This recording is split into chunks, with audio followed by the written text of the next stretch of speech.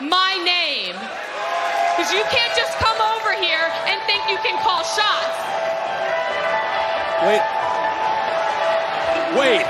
No way. Is she here?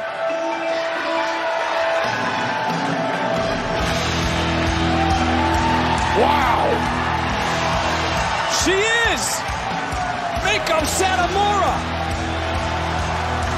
And when you talk about respect, we're all looking at the most respected woman in this industry. Yeah, this audience in complete Wow. As am I.